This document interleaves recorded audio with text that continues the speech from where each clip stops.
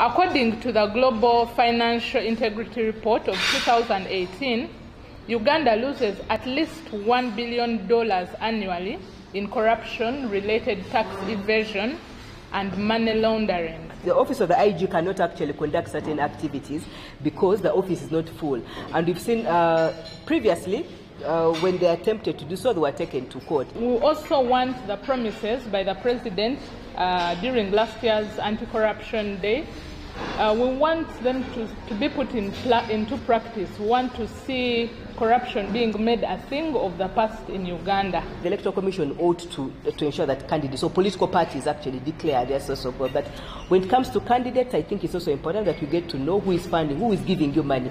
But again, we also know that most of them probably are borrow monies. That is why it isn't surprising that the first thing that, especially for parliamentarians, what they do when they get to parliament is to try to hike their allowances. As Action Aid, we believe that the establishment of proper reporting lines for corruption cases by the government, with inclusion of expansion of budgets uh, to enhance reporting of corruption cases, will help us in this fight. We are calling upon government to urgently introduce a comprehensive witness protection legal and institutional framework for the enhanced protection of witnesses and informers in the context of investigation and prosecution of anti-corruption cases.